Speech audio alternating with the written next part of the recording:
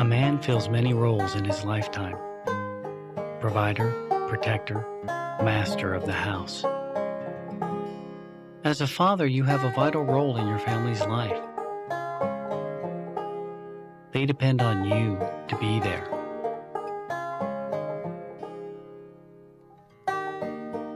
We help to make sure you can fulfill that promise because no matter what they call you, at the end of the day, you know you're just dad.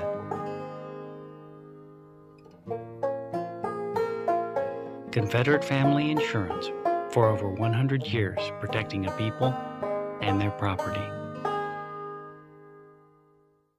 You're watching Channel 6 San Francisco, the city by the bay, Confederate television.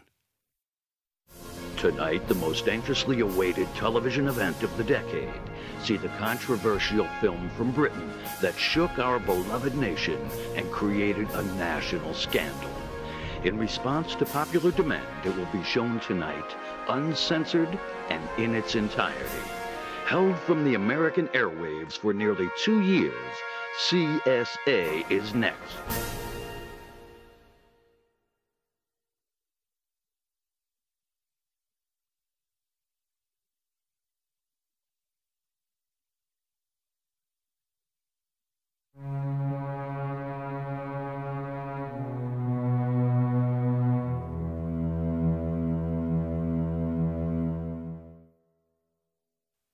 From the very beginning, it was deadly serious. This was no interim idea or experiment. The principal founding fathers were all Southern. They saw themselves in the best tradition of George Washington and Thomas Jefferson. In their eyes, they would lead a second American Revolution.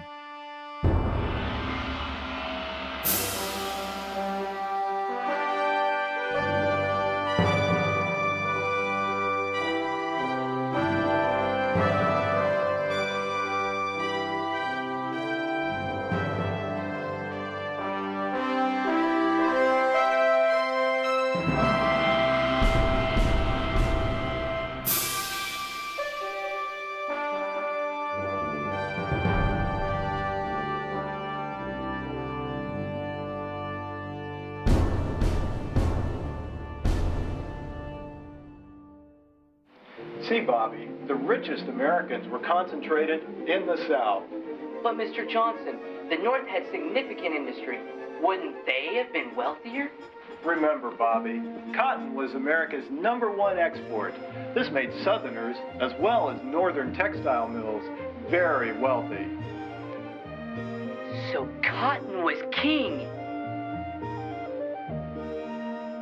Boy, howdy. Slaves must have been pretty important then, huh? And how?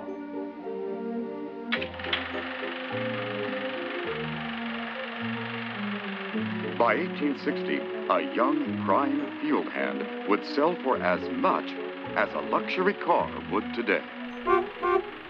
Jeepers. American slaves represented more capital than any other asset in the entire nation.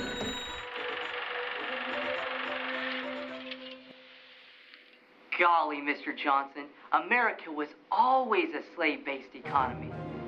That's right, Bobby. And that's why we fought for it.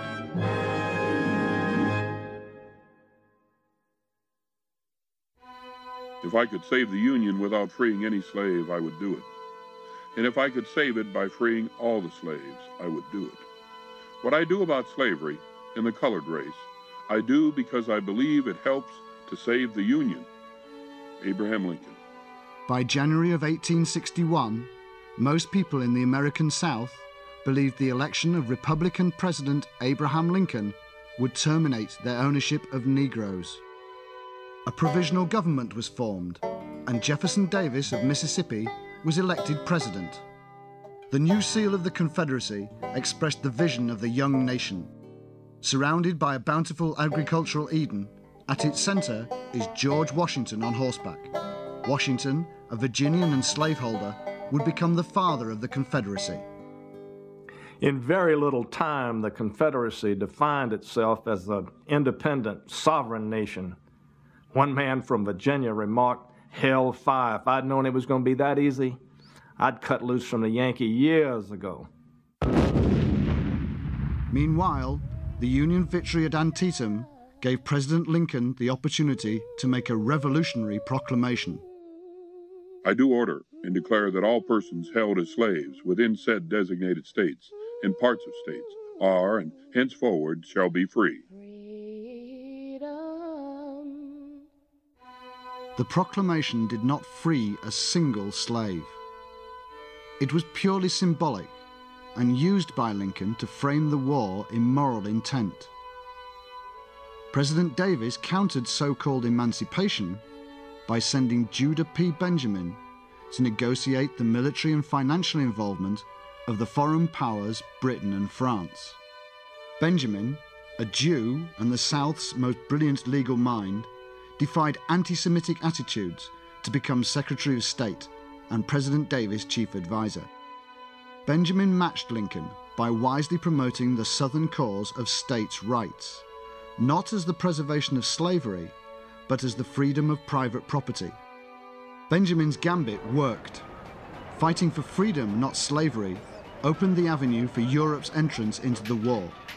With the assistance of several divisions of British and French troops, Lee's armies at Gettysburg routed the Union forces. When those Federal soldiers saw those French and British troops moving up on line on either side of Lee's flanks, many of them just broke and ran. And in a matter of months, Southern troops took the nation's capital, capturing the White House. But there was no sign of President Lincoln.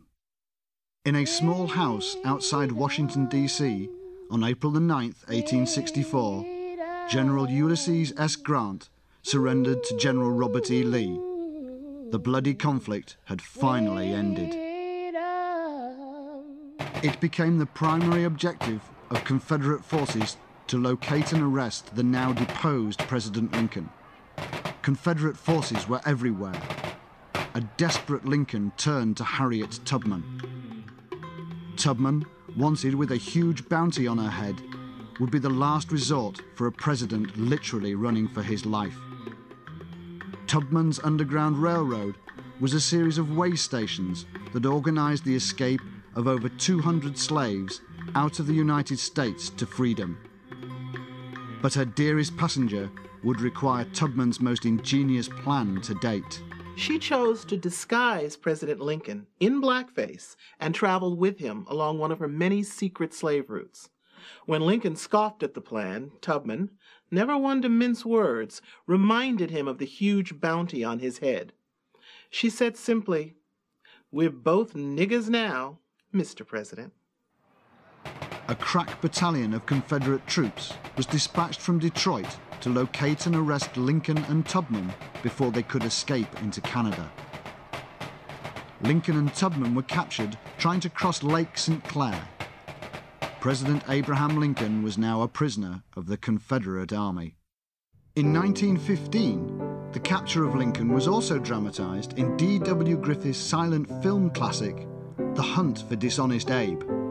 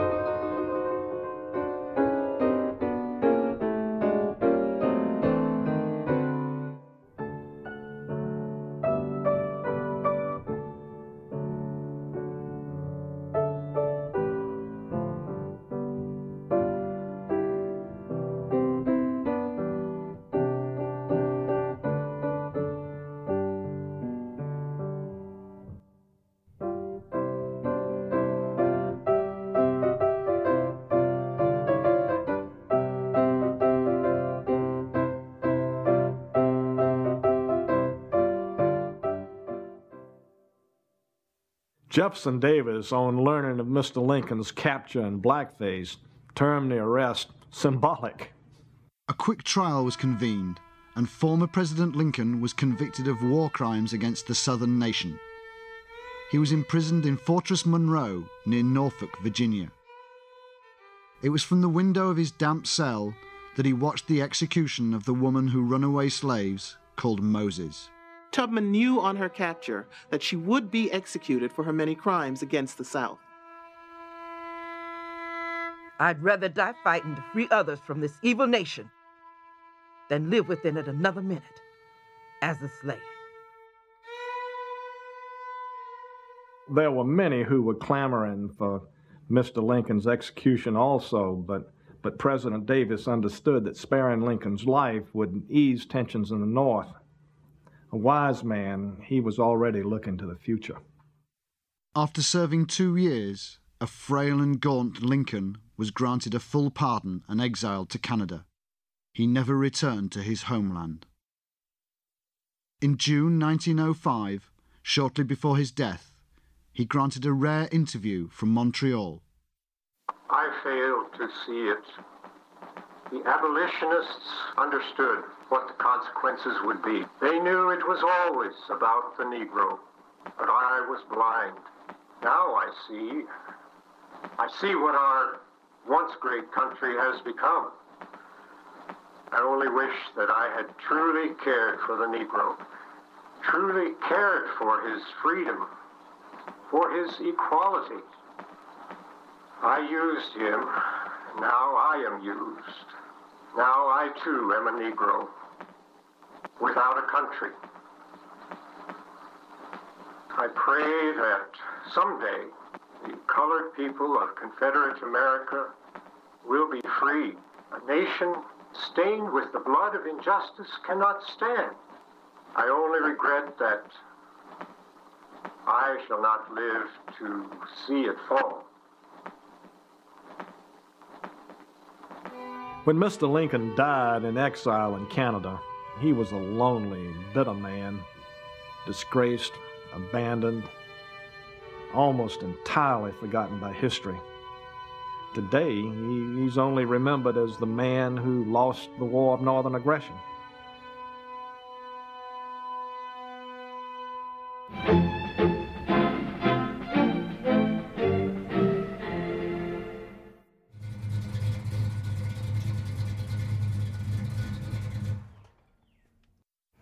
So tired of eating dust. I've tried everything and nothing works. Is there anything that can make this car faster? Try some of this, sport. Dude, Cooter! Sambo X15 is specially formulated for the way America drives. It blasts and cleans away those stubborn black deposits that rob your engine of power. It lubricates and protects. Listen to her purr. Thanks, Duke. Don't thank me. Thank Sambo X15. It's what the pros use. When may I expect dinner, Beulah? Presently, Mr. Herrick. Presently. What would the noontime be without the classic Leave It to Beulah? Beulah, who's always in the kitchen. But never seems to know what's cooking. Weekdays at noon.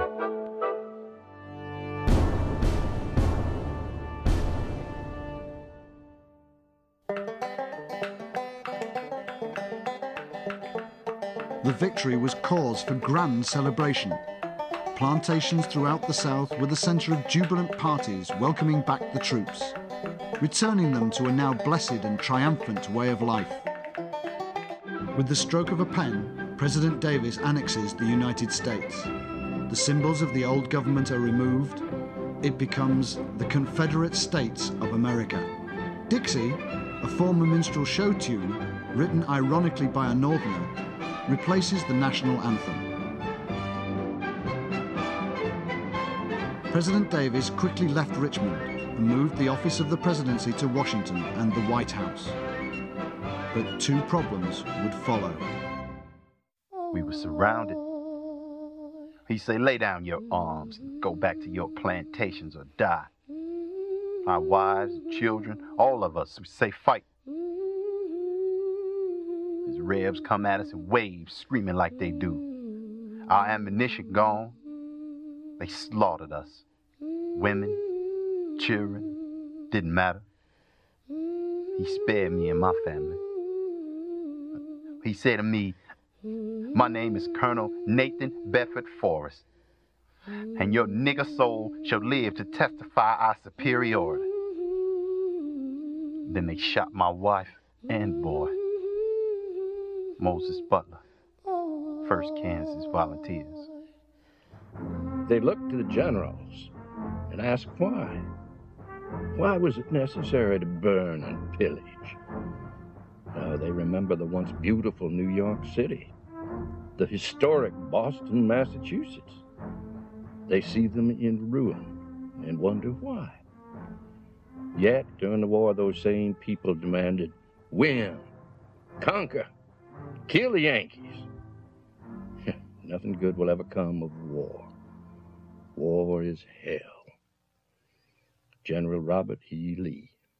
The fate of millions of black slaves seemed settled when a surprising call for emancipation arose from an even more surprising source.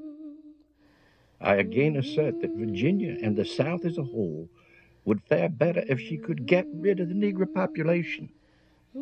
They will be a cause of serious trouble in our attempt to hold them. Lee would cause a firestorm of debate over what to do with the post war slaves. A dashing freshman congressman from Virginia would take the floor and establish himself as the leader of the pro slavery position. It is said that John Ambrose Fauntroy could persuade any colleague from his position or charm any woman from her dress. We have always known that the Honorable General Lee was a secret emancipationist. However, the noble gentleman knows more of military matters than civil affairs. Dear friends, the colored is not ready for freedom. To free him is to make him an orphan. Liberty would be a great curse to the race. Congressman John Ambrose Fauntroy, 1865. President Davis, however, approached the question from a practical point of view. Davis was having one of his many sleepless nights. He was down in the kitchen with Varina, his wife, when his faithful servant, old Popsy, brought him a cup of hot coffee. And over that cup of coffee, they would alter the course of history. The moment was captured in the 1946 RKO film, The Jefferson Davis Story. The role of Popsy is played by the renowned Shakespearean actor Sir Frederick Littlefield. Come to bed, Jefferson. You haven't slept all night. How can I sleep, Varina? I must find a way to unite this country. I heard Miss Varina stirring. I knew you were up again. Lord, sir, what am I going to do with you? Jefferson, you've tried so. Don't make yourself ill. Mm-hmm. You sure enough have, sir. You've done all a man can do, sir. I know, I know, but I must find a way to bring the North into our way of life. If I don't, it may spell disaster. Master President, may an old no-count darky like me ask a question, sir? Yes, what is it, Popsy? Well, Master President, I heard folks say back long ago that them northern folks had slaves. Yes, they did, Popsy, uh, years ago. Well, Master, supposing, just supposing now, they owned them again, just like in the old days. It was good to 'em once, might be good to 'em again. My God. That's it. Ironically, it was the old slave who gave President Davis the notion that would rejuvenate the institution of slavery and direct the country's path for centuries to come. The Davis Plan took the form of an income tax designed to rebuild the North. Still, former Unionists did have another option. The entire tax, collected only from former Union citizens, could be abated with the purchase of household or industrial slaves. The choice was yours. To manage the plan, Davis selected Congressman John Ambrose Fauntroy. We spoke with the congressman's great grandson, John Ambrose Fauntroy V, the Democratic nominee for president, at his Washington, D.C. campaign headquarters. Horace, come, uh, Lindsay? Yeah. Horace's family uh, has been with our family, oh, geez, for uh, how many generations now? Since the beginning, sir. Yeah. He's like family to us. Pleasure meeting you, Horace. Great grandfather, he, uh, oh, he welcomed the appointment. See, he was a, a student of human nature, so he, well, he easily predicted the choice that the Northerners would make, and, uh, well, he was humored by the sudden moral confusion of the abolitionists. He called the whole thing a, a giant garden party for the nation. Stray Negroes, free and slave, children, the elderly, or anyone with dark skin who could not prove Caucasian ancestry were arrested and placed in cattle pens in most major northern cities. Former southern owners travelled for hundreds of miles to sort through the thousands of black faces and claim their escaped property. Most perplexed about their fate under the plan were those of mixed racial background. A small number of so called mulatto slave owners existed in South Carolina and other southern states. Formerly called freemen of colour, under the Davis Plan, the one drop statute constituted their inclusion to the breed. Mixed race slaveholders were sold right along with their full blooded slaves. As one slave put it, light, bright, damn show ain't white. Abolitionists rallied to combat the Davis Plan. Walt Whitman penned this protest in the Brooklyn Eagle. Slavery is a good thing to the rich, the one out of thousands, but it is destructive to the dignity and independence of all who work and to labor itself. But Fauntroy countered. We are immigrants from different countries, different backgrounds, different languages. Only one tie holds us all together our white ancestry. This slavery is afforded not just for the rich, but for every man, according to his color. I wish to God every head of a family in this great land had one slave to take the drudgery and menial service off the family. Northerners began to appreciate what Southerners had always known it's good to be the master. A secret meeting was held in the home of Susan B. Anthony to respond to the success of the Davis Plan. There, William Lloyd Garrison read his now famous letter, Why We Must Leave. We are living under a brutal slave oligarchy that now threatens to starve us if we do not do their evil bidding. Will I make a compact with the slaveholder the man who plunders, cradles, scourges women with the lash till the soil is red with blood? Never, my dear friends. Simply, we must leave. About 20,000 whites, mostly northerners, followed Garrison across the border to Canada. Among the notable expatriates were Harriet Beecher Stowe, Henry David Thoreau, Mark Twain, Ralph Waldo Emerson, and the outspoken Wendell Phillips. It does not surprise me that the North has taken to this monstrous plan. There were always just a few true abolitionists, for if the North were ever against slavery, it would not have lasted these many years. Another to leave was the suffragette Susan B. Anthony. Anthony would lead a women's movement in Canada, gaining the vote for women in 1912. One particular incident that really got the attention of the country was the matter of Cassie Brown in 1875. Cassie was a slave woman who brutally murdered the three white children in her charge and escaped, and she was never captured. It hurts me to my soul that I took them children's lives. I love them children, I swear I did. I had me three children once ago. They was took off and sold from me. Them white babies wasn't my children. and I wasn't a mama. No woman can be mama who ain't free. Cassie Brown, 1875. For the first time, people began to wonder could they trust their black mammy? Slave owners, left befuddled at the behavior of their beloved slaves, turned to Dr. Samuel A. Cartwright of the University of Louisiana, a highly respected and widely published member of the American Medical Association. Cartwright, considered an expert on Negro diseases and peculiarities, had made a major breakthrough with his discovery of drapetomania. Drapetomania is a disease which causes slaves to run away. From the Latin drapto, meaning to flee, and mania, an obsession. Thus, Dr. Cartwright believed drapetomania to be the root cause of all runaways.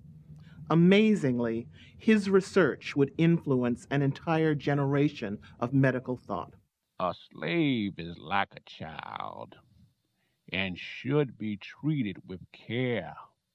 However, when a slave becomes sulky or dissatisfied, then I prescribe whipping the devil out. of Dr. Samuel A. Cartwright, 1860.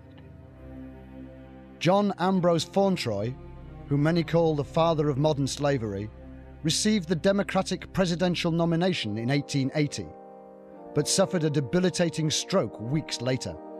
He died in 1882. The Fauntroy family would capture the imagination of the nation for years to come. A political dynasty, many consider the talented family American royalty.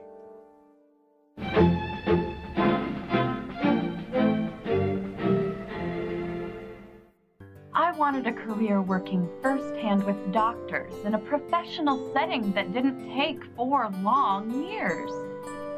I wanted to help all God's creatures, great and small, but my grades just weren't high enough for medical school.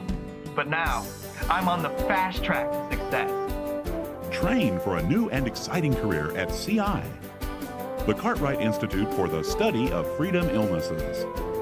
In just months, not years, CI can train you for a rewarding career as an overseer, paddy roller, servant monitor, breeder, or get an associate's degree in e slave accounting. Perform medical experiments, learn the nature of freedom diseases. You'll be proud working firsthand with doctors, tackling the challenges of Negro peculiarities. Become that person you always knew you could be. Call CI today. Classes are forming, so call right now. Run, boy, run, boy, the battery will get you. Run, boy, run, no someone's play. What you gonna do? What you gonna do? What you gonna do when we find you? What you gonna do? What you gonna do? What you gonna do when we find you? Run, boy, run, no the battery will get you. Run, boy, run, no you gotta get away. Run, boy, run, no the battery will get you. Run, boy, run, no someone's play. What you gonna do? What you gonna do? What you gonna do when we find you? What you gonna do? What you gonna do? What you gonna do when we find you? Run away. Runaway tonight at 10:30.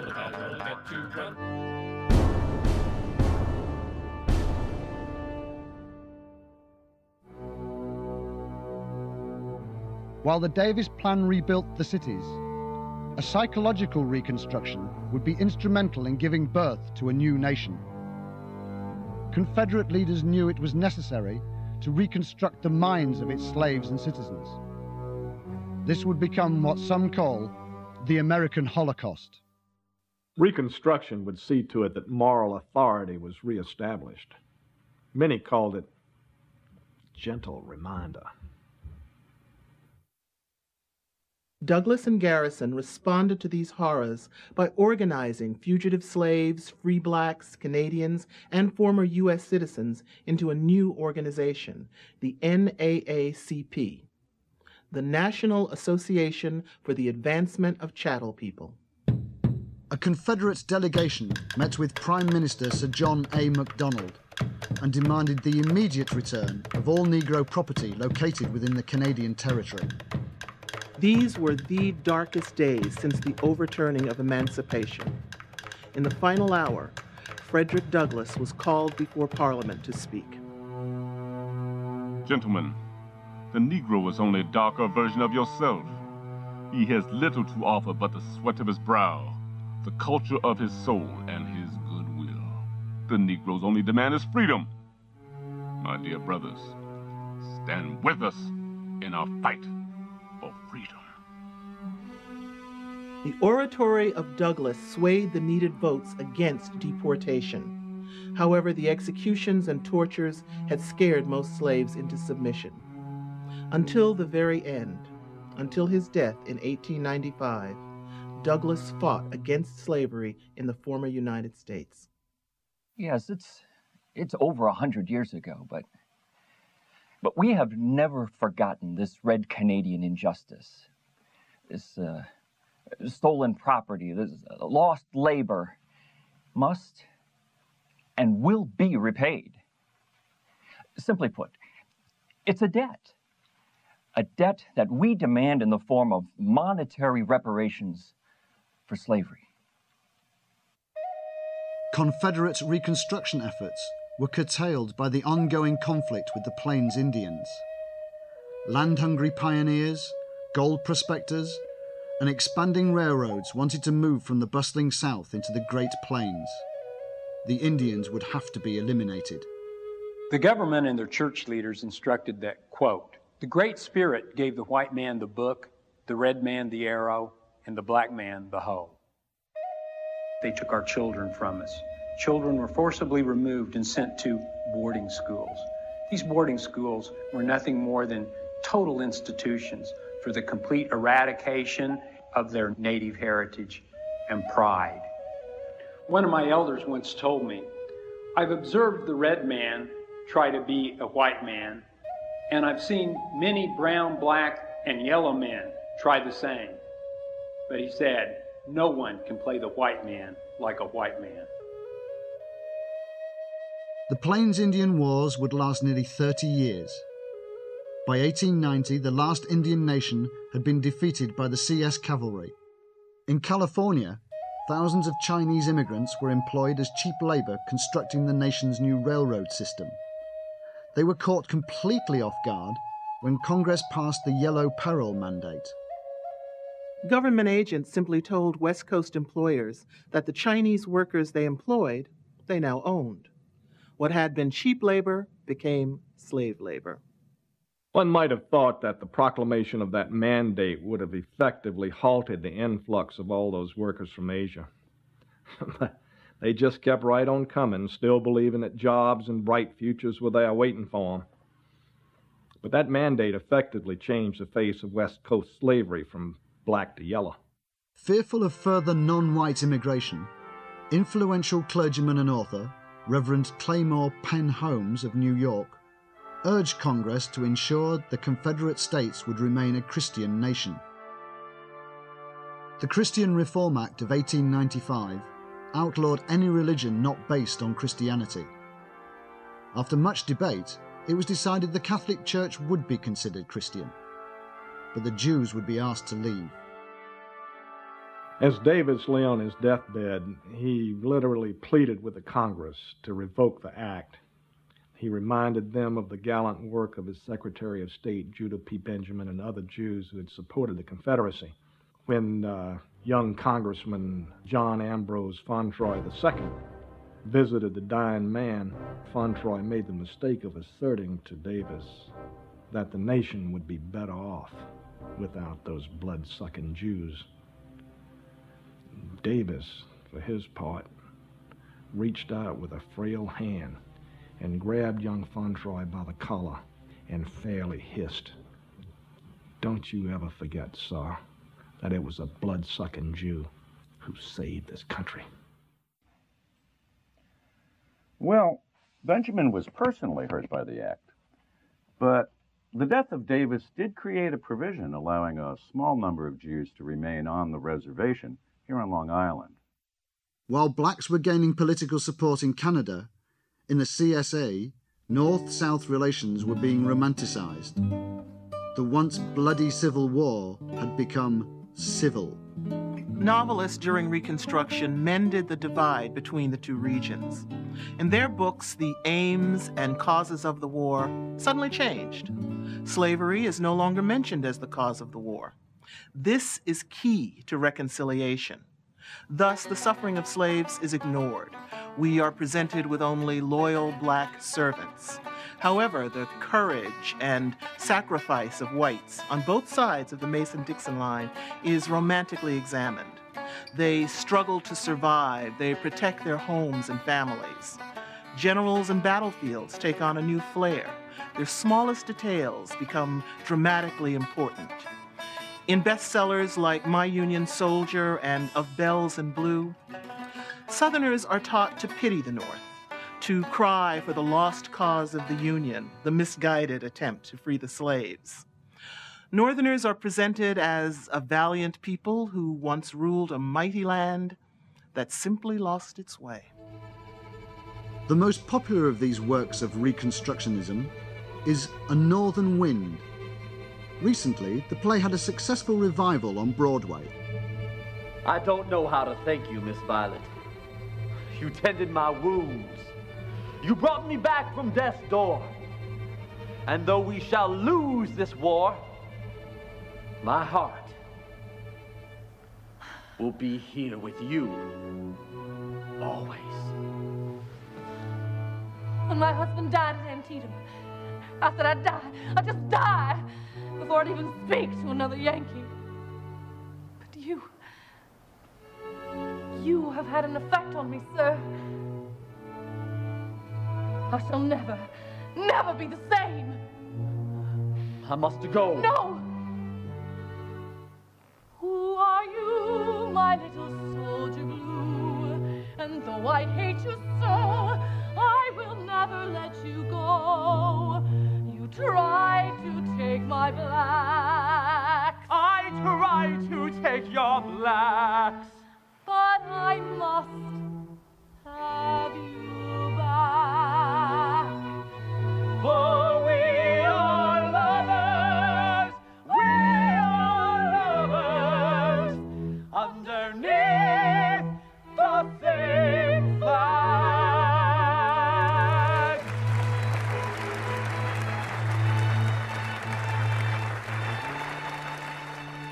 With Reconstruction complete, the CSA, inspired by the empires of Britain and France, were anxious to embark on a journey to become the most powerful empire in the world.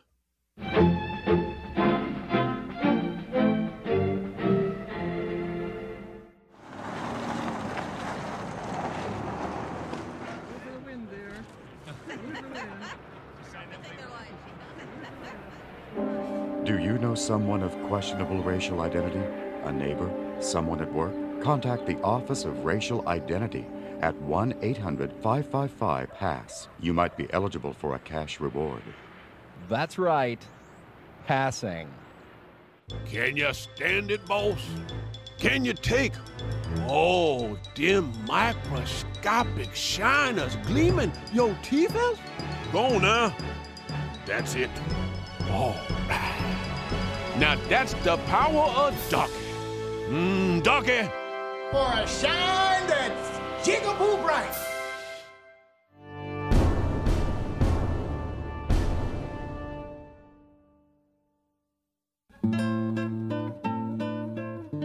In the summer of 1900, Confederate framers act on their vision of a lush, productive superstate. They would civilize the savage regions of the southern hemisphere. Well, it was called a, uh, uh, splendid little war, but it was, it really became the first opportunity to test uh, North-South unity uh, against a foreigner, uh, non-American, and a foe of color, uh, Spanish. The war was a rousing, unifying success. With decisive victories against the Spanish in Cuba and in the Caribbean, the expansion continued into Mexico. These Latin American countries, as Confederate satellites, were organized along grand antebellum lines with marvelous slave based plantation economies. Of course, only, only white people could hold Negro slaves, But in Mexico, uh, the Mexicans themselves were never subjected to slavery as such.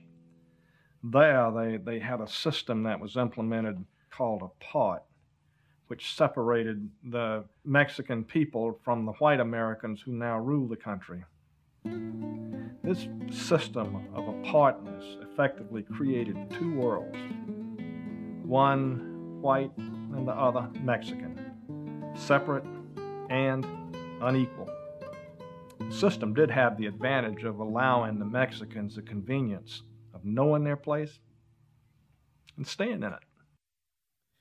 Los Estados Confederados eh, utilizaron las divisiones raciales y económicas de Sudamérica para crearse aliados militares. En competencia con los británicos y franceses, utilizaron a dictadores corruptos para derrocar a varios líderes elegidos democráticamente. Eh, así, por ejemplo, Brasil atacó a la Argentina, Chile se enfrentó a Bolivia y así sucesivamente. Mm, podríamos decir que era una estrategia simplemente de dividir y conquistar. Confederate leadership saw the conquest of South America as its prize piece. Conquering a huge landmass would make it a true empire. Bueno, mis padres huyeron de Sudamérica cuando yo era muy joven. Pero, sin embargo, tengo un recuerdo muy vívido de esa época, sobre todo por la comida. Porque ellos creían en conquistar la mente, pero también el estómago. Así que muy pronto la dieta latinoamericana fue cambiando. Por ejemplo, para el desayuno nos daban grits y sausage, que es como salchicha. Para la comida era ham hocks y collard greens. Y para el almuerzo un sándwich de pata de cerdo que llamaban pickle pig food. Eh, me acuerdo que una vez el rector de mi colegio me obligó a comer chitlings. Creí que me iba a morir. The critical mistake Confederate leaders made was in underestimating the will of the South American people to remain free. Our boys hadn't died in such large numbers since the Civil War. I recall a story of a young boy lying in a hospital having lost both his legs in the jungles of Guatemala. And one day, when a general was visiting the wounded, he stopped by the boy's bed, and the young man, disillusioned that he was, rather plaintively looked up at the general and said, Why? Why, General? And the general looked at the young man and said, Son, it's because we are Americans. The high personal cost of the expansion was the subject of the 1940 award winning film The Dark Jungle. Have you heard? It's on the table, Sergeant.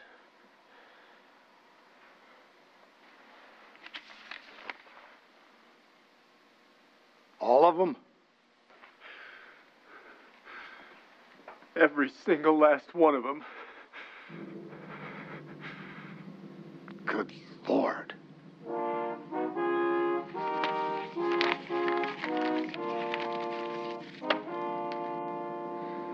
Was it worth it, Sergeant? Was it worth the lives of Cliff, and Johnny, and Biff? Man! Is the whole world red and black and brown and yellow? They'll always outnumber us.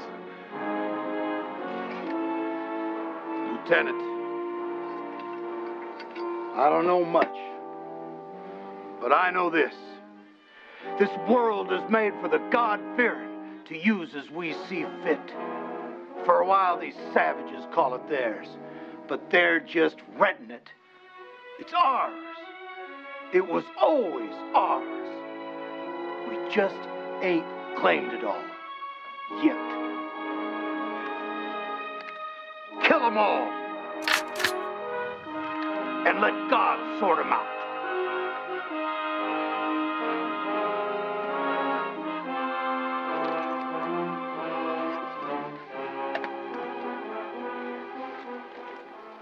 Costly victory in South America instilled an even deeper belief in manifest destiny. They now truly believed they were on a divinely ordained quest for world domination.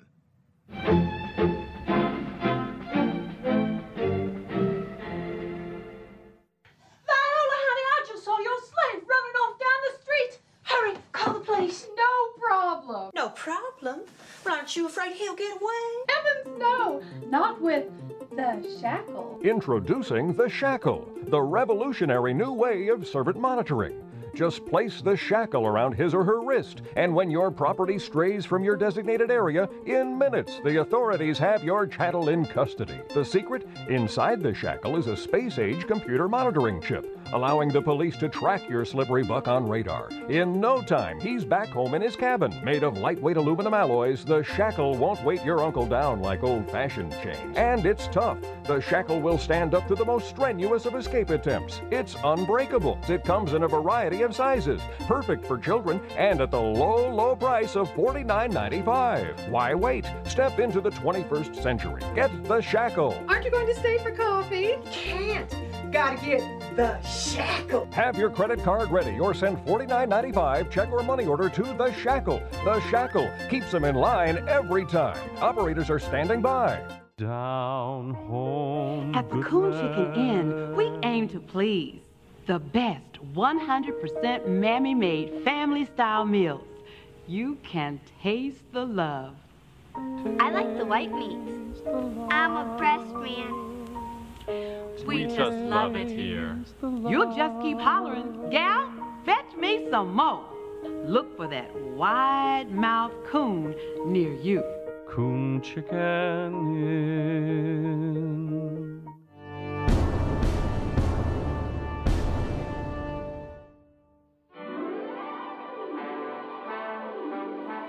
By 1929, Mexico, Central America, South America, Haiti, and the Caribbean were all members of the growing Confederate Empire.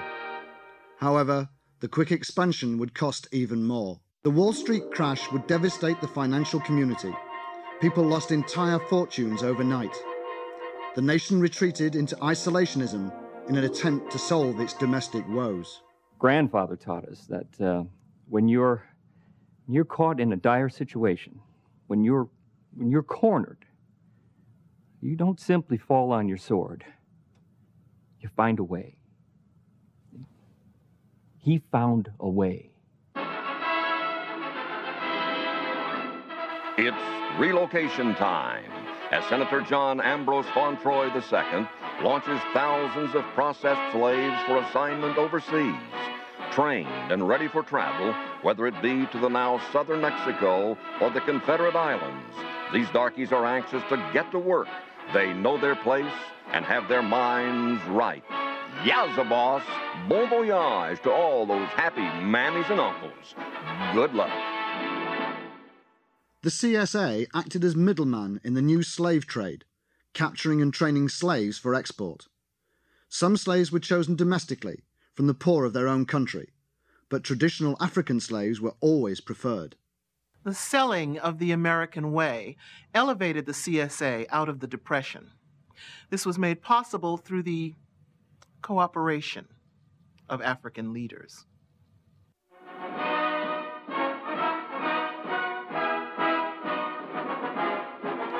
Africa is a strange and backward continent. The world must understand that captivity is good for the African. He's better off with you than with us. We only secure and trade the inferior tribes, only those with whom we have long standing conflicts. Of course, we have conflicts with most tribes. but for our cooperation, America allows us to govern our people. They leave us alone, they believe in democracy, and so do we. Critics often wonder how Africans involved in the trade can market other black people. They say, you should stick together. You are human beings, and you should help one another. To this, I simply must say no. Capitalism is no respecter of persons. There's simply too much to be gained. A good chief, like a good congressman, senator, or president, always puts the prosperity of his people first. In Europe, the rise of Nazi Germany was of little concern to the Confederate States and its isolationist foreign policy. Many Confederate leaders visited Germany and attended the mass Nazi rallies. Congress officially supported Germany's new Aryan racial policies, calling them biologically correct. Hitler returned the visit in the spring of 1935, touring the boroughs of New York City. Although protested by Jewish Americans, the trip was a resounding success. In Washington, Hitler proposed that America join with him in a final solution to the problem of inferior races. Hitler's plan was to exterminate the Jews of Europe and create a pure Aryan continent. Secretary of State John Ambrose Fauntroy III responded by suggesting that Germany not exterminate Jewish citizens, but instead use them as a productive slave labour force. Taking Hitler on a tour of American slave labour plantations and factories, Fauntroy and Hitler discussed the possibilities. No agreement was reached, but Secretary Fauntroy made it clear the CS felt it immoral to waste human livestock, but promised not to intervene in any military conflict Germany had with its neighbours. America did have a new enemy. Japan had become expansionist, assembling a large military force. For the CSA, they posed a threat to the entire Pacific region. The Confederate States would act. On the morning of December the 7th, 1941, America struck Japan in a devastating surprise attack. The airbase on the Kuril Islands, the Japanese naval fleet anchored in Tokyo Bay, and the former capital of Kyoto were all heavily damaged by Confederate bombers. The war with Japan had begun. Because the Japanese people were small in physical stature and non white, Confederate leaders dismissed them as weak. Once again, they underestimated the will of a foreign power. They would find out just how weak they were. So many men were dying in the war that Confederate leaders turned to their slaves for assistance. The first to volunteer were West Coast enslaved Japanese, anxious to prove their loyalty and perhaps gain their freedom. However, Congress decided they were sneaky and could not be trusted. They were banned from service. A regiment of slaves, the 129th Fighting Bucks, were leased by their owners to the Confederate Armed Forces to serve in combat. The slaves were promised their freedom if they would fight. The men of the 129th fought with distinction and courage. They were given the most dangerous missions, and casualties were very high. But they earned the respect of their Confederate officers. Even after suffering such tremendous losses, the Japanese forces still would just not surrender. And then, by the grace of God, we developed a weapon that would put the entire foreign world of colors in their place. The war was over, and it was a time for immense celebration. However, after the war, the 129th Fighting Bucks were returned to their masters for enslavement. No explanation was given.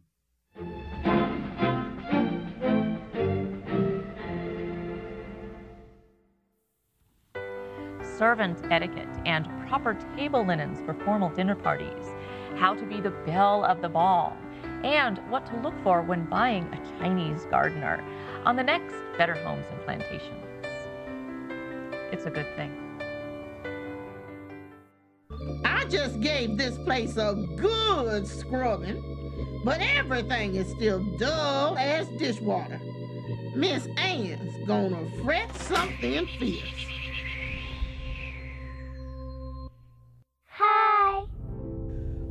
Is yo? I'm Goldie. I'm Dusty. We're the Gold Goldust twins. Are you a slave to housework? Let the Gold Dust Twins emancipate you from the burdens of cleaning. It gets everything shining like new.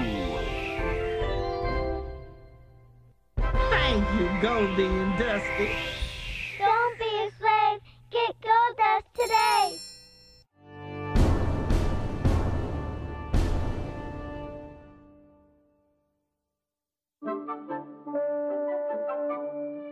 In 1950, the Confederate States were enjoying a period of domestic tranquility. Antebellum values were at the core of this peace. Slaves had been beaten into submission. the future was rich with promise. Then it happened. The Canadian based John Brown Underground, or the JBU, a splinter group of the NAACP, waged what they called a war against slavery. While the NAACP practiced non violence, the JBU employed any means necessary. The JBU were terrorists, pure and simple, bent on the destruction of the nation of the Confederacy. What is terrorism to one is patriotism to another. The CSA sent Ambassador Hamish Bond to visit Canadian Prime Minister Louis S. Saint Laurent of the Liberal Party. Bond demanded the extradition of all members of the JBU. Prime Minister Saint Laurent refused. Canadian abolitionism had now become the major threat to the Confederate way of life. They, they just had to be stopped. The Abbey wants to make the world a race of mulattoes, half mule, half horse. Remain pure, friends. Beware of the abolitionist propaganda. Beware of the abolitionist saboteurs. Keep your eyes open. Your neighbor could be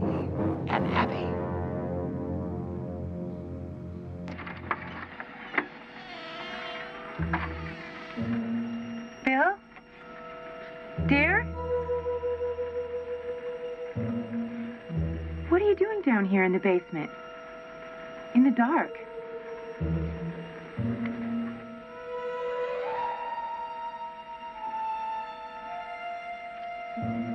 You're not the same anymore. I don't know you, honey. You're so cold and distant. Do you still love me? That's not it. Then are you sick, dear? Do we need to see a doctor? I don't know what to do. Talk to me. What is there to say?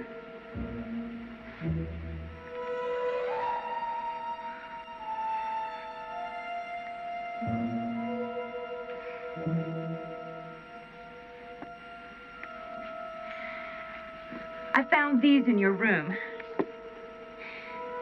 Of Nat Turner.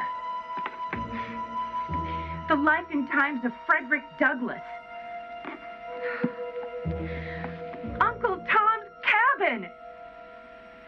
What are you doing with these?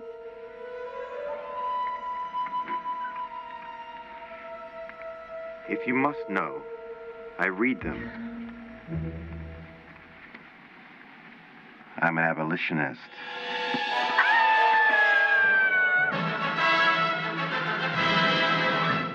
Safeguard against Red's Canadian aggression, the CSA constructed a wall spanning the entire length of the Canadian border.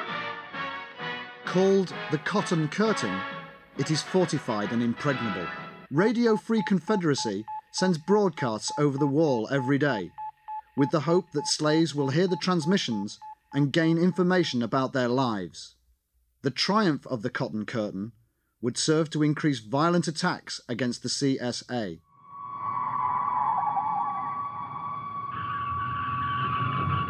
Yeah, I, uh, I was seven years old when, when Dad was assassinated, and well, the president, he he launched uh, airstrikes against Canada, but I have to be honest with you, it doesn't really ease the pain in uh, losing a father.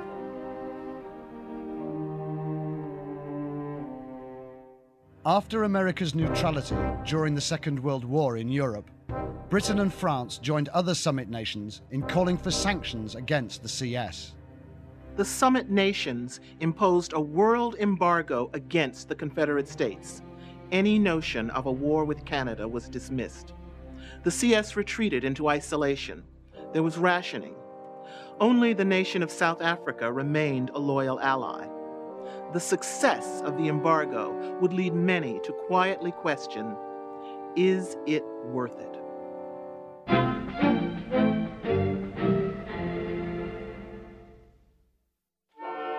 fallout here means more than corralling a young buck. It's a time of crisp, clean morning air and the sound thundering stampede. It's a time when horses come down from the high pasture and a man prepares for another tough winter. It's time for a nigger hair, an American cigarette.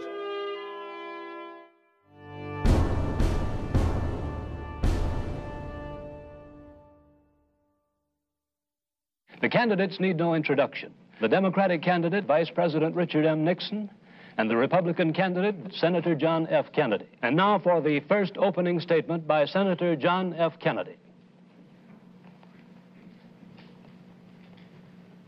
In the election of 1960, and with the world around us, the question is whether the world will exist, half slave or half free, whether it will move in the direction of freedom, in the direction of the road that we are taking, or whether it will move in the direction of slavery. If we do well here, if we meet our obligations, if we're moving ahead, then I think freedom will be secure around the world. If we fail, then freedom fails. It was what many had predicted of an Irish Catholic and a Northerner to boot. Critics had called Kennedy a black Republican, obviously bringing up the image of Abraham Lincoln and, and the abolitionists of the past. Slaves knew Kennedy was sympathetic to their plight. He could not directly come out and advocate its end, but everyone knew that if the opportunity arose, Kennedy would emancipate. It was 1960. President elect Kennedy, the youngest leader in American history, and the first president from the North since the War of Northern Aggression, would dramatically alter the direction of the country. What Kennedy termed a new frontier. Polls indicated that only 29% of the population now favored slavery, the lowest figures ever. Kennedy, young, intelligent, and too clever by half, symbolized this. He had skillfully managed to put a handsome face on emancipation. However, Kennedy, distracted by the Cold War with Canada and an expansionist campaign in Southeast Asia, had little time to address the revolutionary social changes at home. Women now demanded an end to the sexual relations between their master husbands and their female slaves. For generations, they had tolerated these unions and the slave children they produced. Fully 50 years after the efforts of Susan B. Anthony, women now wanted control over their lives. We are not frail, simple minded pets. We are more, much, much more. We demand the right to be women, women with a future, women with the vote. Confederate teenagers were being influenced by the beats of Negro rock and roll blasting across the Cotton Curtain from Canada. Free to express themselves, former slaves enriched Canadian culture. Performers like Elvis Presley imitated black artists and were censored and arrested. This Elvis Presley and this Canadian abolitionist inspired rock and roll music threatens to deflower every pure white child in this great country of ours. Many like Presley took their talents north and became stars in Canada. Canadian writers like Richard Wright and James Baldwin created masterworks of literature. The ban on race, music, literature, and art stifled American creativity. Prohibition of certain abolitionist and Negro inspired art left Confederate culture void and without conscience. American art never evolved beyond government inspired propaganda.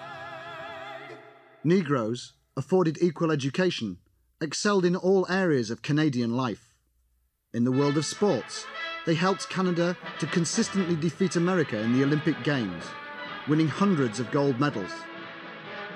After seeing great black athletes in the Olympics, some Confederates pondered the inclusion of slaves in sport. In the first annual CSFL championship game, two all white teams, the Washington Indians and the New York Niggers, illustrated the call to break the color barrier and emancipate. 100 years ago today, Abraham Lincoln signed the Emancipation Proclamation. He thereby began the process to fulfill finally the promises of the Declaration of Independence. The century since has seen the struggle to convert freedom from rhetoric to reality. It has been, in many respects, a somber story, and the task is not finished. Much remains to be done to eradicate the evil of human slavery. The proclamation must be regarded not as an end, but a beginning. In giving freedom to the slave, we assure freedom to the free.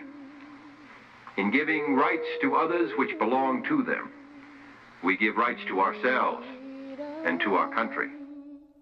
The president's assassination drained the lifeblood from the entire nation. The belief some white citizens had for a new America was gone. Women would not get the vote. The hope slaves had for their freedom exploded into rage. Two major slave rebellions, one in the Los Angeles, California section of Watts, and the other in Newark, New Jersey, caused strong but divided reactions from Confederate lawmakers. In the wake of our late president, our nation is at the crossroads. We must ask the question is slavocracy the only way?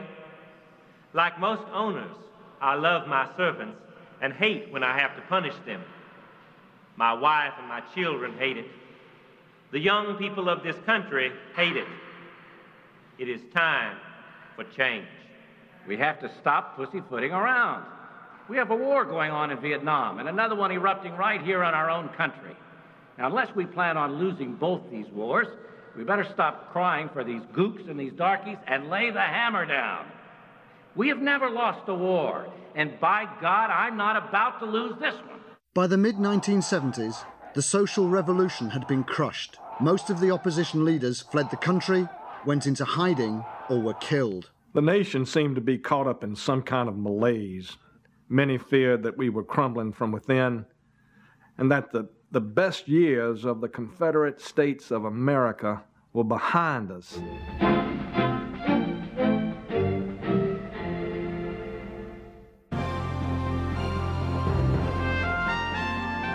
This is Newsbreak. I'm Jeb Boone. Confederate Express, the nation's leading shipper, issued a warning today that house servants are using the service to, in their words, overnight themselves to freedom. There was this one fella, shipped his whole family, wife and two kids, up north in a box labeled Home Entertainment Center. Another big tip check for air holes. Back after this.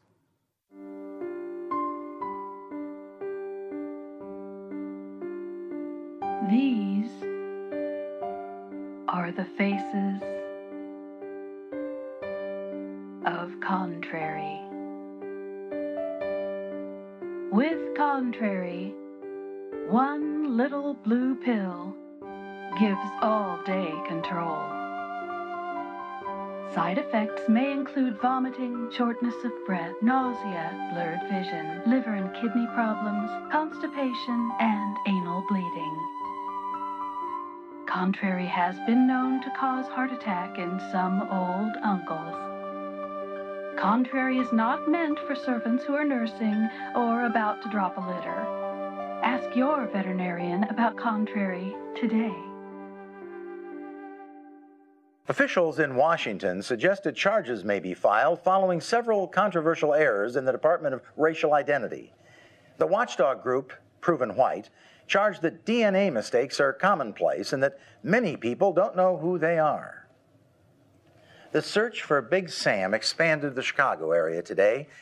The runaway remains number one on the CBI's most wanted list. A spokesman for the Bureau indicated although the crime is over two years old, Big Sam is still believed the JBU mastermind behind the now infamous one drop scandal. And on a program note, be sure to stay tuned for the live death row execution of Floyd Ray Hubbard. Now that's at 12, 11 Central. See you then.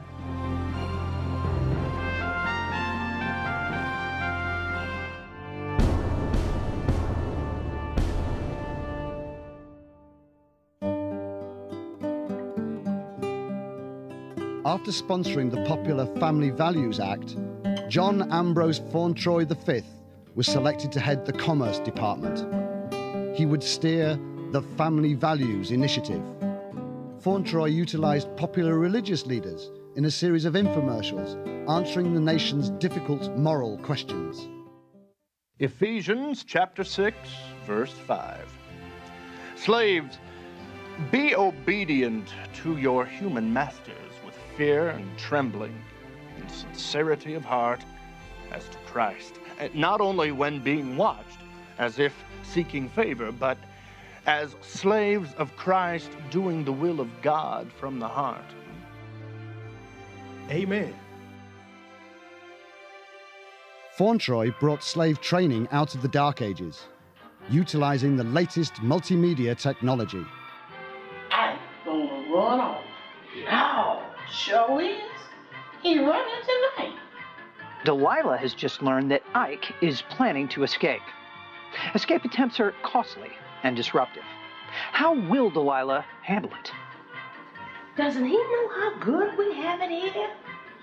Good food, a roof over our head, and a kind master? Don't be afraid to learn more. Be Massa's ear. Is he still talking that abolition talk? Bingo. Delilah has discovered that Ike's mind ain't right. Critical information.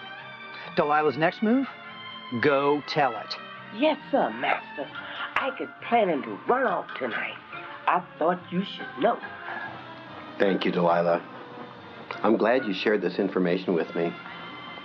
You know, Delilah, you are a good one. Like Delilah, you too can be a good one. Fauntroy's new agencies were designed to monitor and correct the American fabric. When he stays out all night or gives you a fatherly smack, remember, he's the master of the house. And as such, he will always exercise his will with fairness and truthfulness. I'm here to speak to you about an important medical problem. Are you now, or have you ever been, a homosexual? And we've encouraged Hollywood to create more shows like uh, That's My Boy. You can't help but laugh at Cleophas. Follow the antics of America's favorite jigaboo, Cleophas, as he deals with the challenge of freedom on That's My Boy, weeknights at 6.30. That's just me, boss. That's my boy. Well, look at the Slave Shopping Network. The Slave Shopping Network alone has done wonders to bring back the joys of uh, Negro ownership. Let's talk slaves. For the next hour, I am here with Joyce, and she has brought us some of the most incredible servants to pick from today. That's right, Paula. We have 40 extraordinary Negroes right off the tarmac waiting for you. And I know one of them's just right for you in your home. So let's start with Jupiter and his family. Now, Joyce, you say that Jupiter's a buck for the 90s. That's right, Paula. Versatility is the key with Jupiter. He's the perfect slave for home, office, or industry. He's healthy, adaptable, and reliable. Oh, and what about our gal Prissy? Oh, what a find. Well mannered, loyal, smart, but not uppity. Oh, and what a litter of pickaninnies she's had. Aren't those two the cutest little things you ever saw? They would be so helpful around the yard or with dinner parties. Now, as with all SSN products, we can either break up Jupiter's family for you, or you can have them as a set. So, let the bidding begin. A new generation of young people are, are excited now about owning Negroes. The uh, buying, trading, and, and selling of servants on the internet has pumped over $500 million into the economy. But behind pornography, it's the top selling item on the net. The 80s and the early 90s were more than a nostalgia trip. We'd finally put that tragic decade of self doubt, the 1960s, behind us. I swear I'd, I never had seen so many flags and yellow ribbons as when our boys came home victorious from the Persian Gulf. We'd really whipped those Arabs. We won. That was enough. And once again, we loved ourselves. When this country was the United States of America, slaves built this capital. Today, we preserve it. Reports soon surfaced. Fauntroy would run for the Democratic presidential nomination.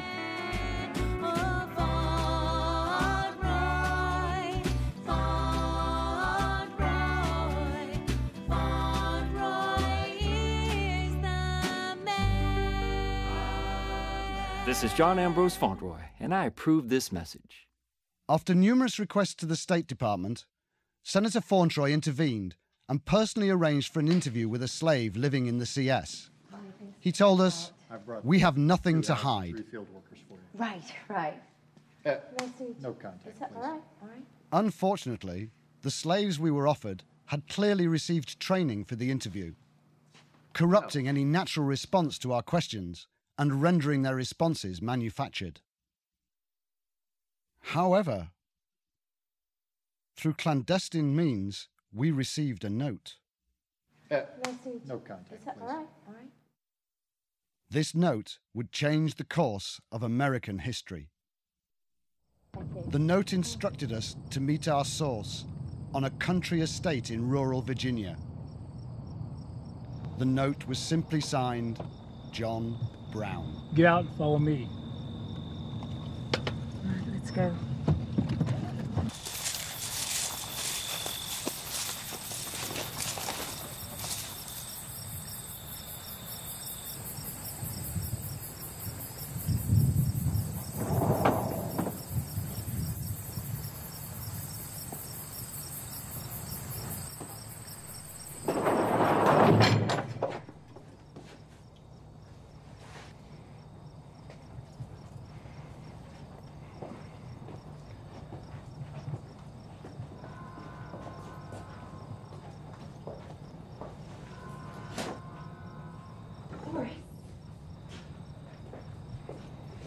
Fauntroy gonna kill me sure shooting.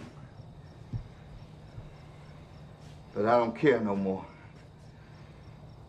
I got to say this. What do you have to say? Master Fauntroy, his family, and my family. What?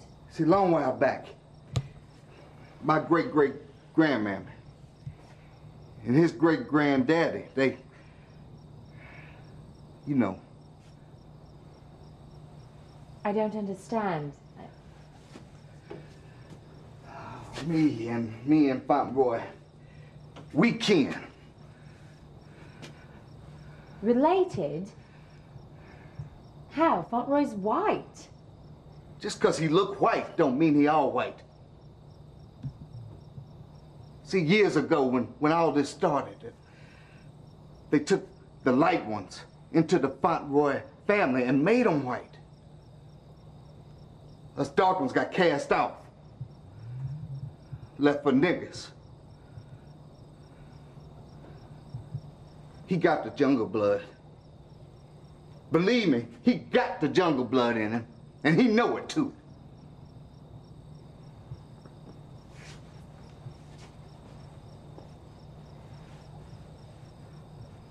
Following the release of that tape, Fauntroy held a news conference to respond to the charges of Negroness.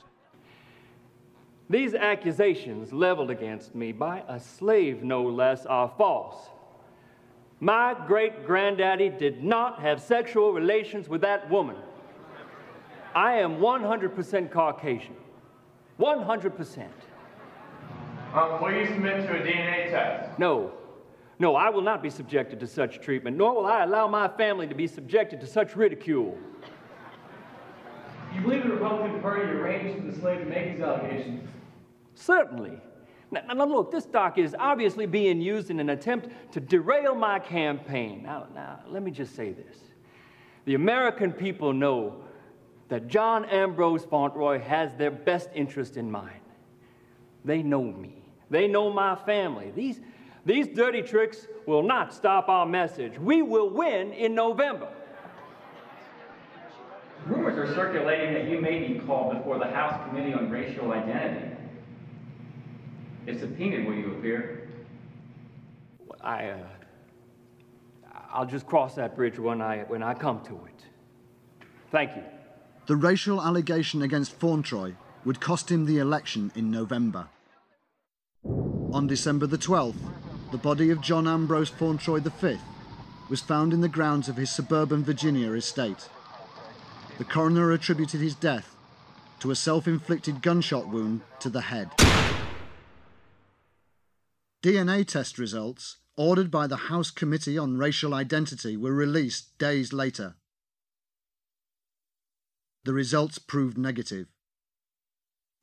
I only wish that our dear family friend, uh, Chancellor Hitler, had lived to see how he empowered his country. Imagine an America where everyone has the same deep, abiding pride of Aryan birth. I want to reclaim that heritage. With America's help, we can. No slavery in history has been as devastating as chattel slavery in the Americas.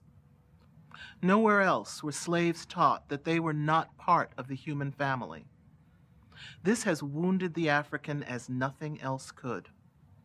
It still haunts slaves and former slaves today. It's important to remember that our fond attachment to slavery uh, is not an economic necessity. In fact, it's always been detrimental to the Confederate economy to hold slaves. Yet, slavery, like nothing else, is what defines us, shapes us as a people, as a nation. Owning a slave is a constant reminder of who you are. It strengthens our role and responsibility to be a leader in our homes, in our families, and in our communities, and to provide the leadership as only a white man could hold in the most powerful nation in the world.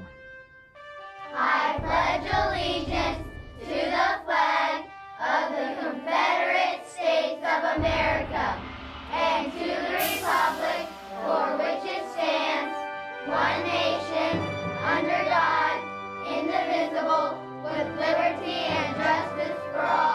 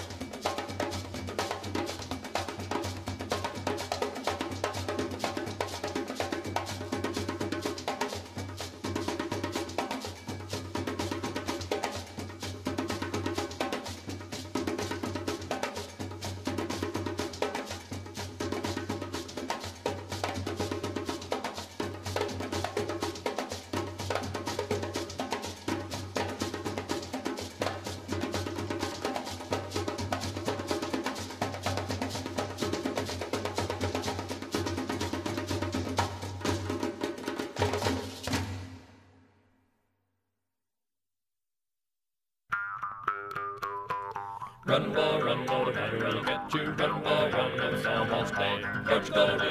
What you gonna do? What you gonna do when we find you? What you gonna do? What you gonna do? What you gonna do when we find you? Run, boy, run, no, the battery will get you. Run, boy, run, no, you better get away. Run, run, no, the battery will get you. Run, run, no, it's almost day. What you gonna do? What you gonna do? What you gonna do when we find you? What you gonna do? What you gonna do? What you gonna do when we find you? Run away, get you, run away, run away. Run, boy, run, no, the battle will get you. Run, boy, run, no, it's almost day. Run, boy, run, no, the battle will get you. Run, boy, run, no, you better get away. Run, boy, run, no, the battle will get you. Run, boy, run, no, it's almost day.